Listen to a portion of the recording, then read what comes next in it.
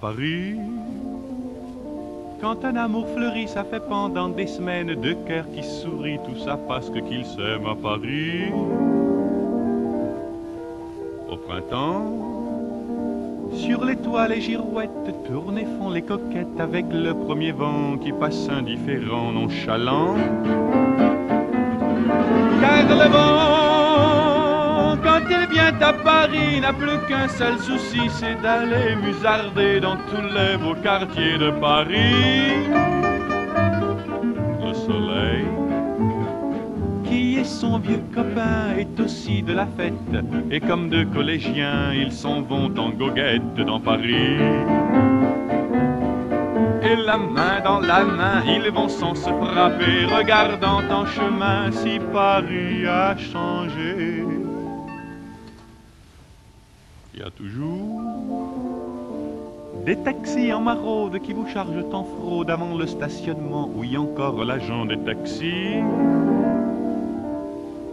Au café, on voit n'importe qui qui voit n'importe quoi, qui parle avec ses mains, qui est là depuis le matin au café. Il y a la scène, ses visiteurs qui la regardent dans les yeux, ce sont ses amoureux à la scène. Et a ceux ceux qui ont fait leur lit près du lit de la Seine et qui se lavent à midi tous les jours de la semaine dans la Seine.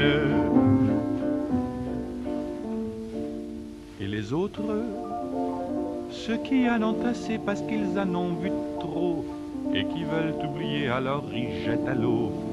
Mais la Seine,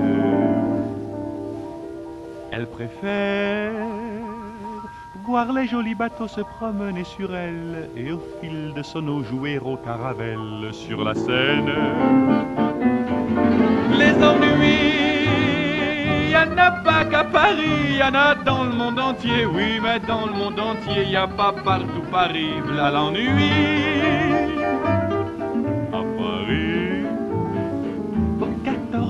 14 juillet, à la lueur des lampions, on danse sans arrêt au son de l'accordéon dans les rues. Depuis qu'à Paris on a pris la Bastille, dans tous les faubourgs, à chaque carrefour, il y a des gars et il y a des filles qui sans arrêt sur les pavés, nuit et jour, vont des et des à Paris.